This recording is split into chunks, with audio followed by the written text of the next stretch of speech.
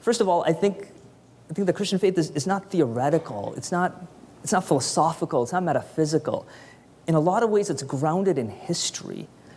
Right? The Judeo Christian faith has these historical claims as to what that faith is about, about how the way God intersected this world and took care of his people.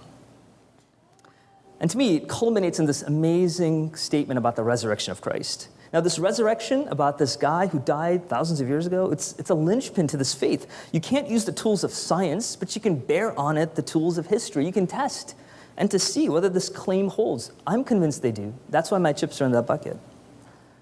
And unlike any system of beliefs I know of, this Judeo Christian faith, it boldly claims that this mess, this mess that we see, is built into the very heart of God. This is why God is called Emmanuel, God with us in this mess, in this pain. This mess is central to the story. Now, the death of Jesus shows that God does not accept this broken world, that pain and justice are given a solution here. Now, now many of you might think that, you know, love the gods, the God of love and the God of wrath don't fit together at all. But I think they fit perfectly together, and I'll tell you why.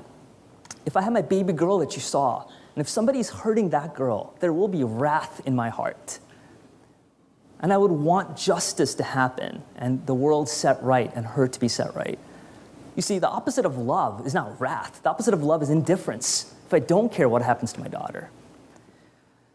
And at the cross, I see that this God is not indifferent. He pours the wrath on his son due to his love for us. It's an amazing thing that in this death, God actually shares the responsibility with us. Blows me away. And the resurrection of Jesus, you know, this resurrection, it's not a spiritual ghost of a resurrection, but it's a flesh and blood resurrection, which means it says that the physical world matters. Flesh matters, sex matters, ice cream matters, earth matters. This beautiful world will not be tossed aside.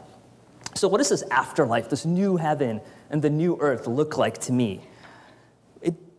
It, looks like this it looks like artists and musicians hanging out, about inventors, academics, people who make more amazing ice cream, fashion designers, shoes that are better than these.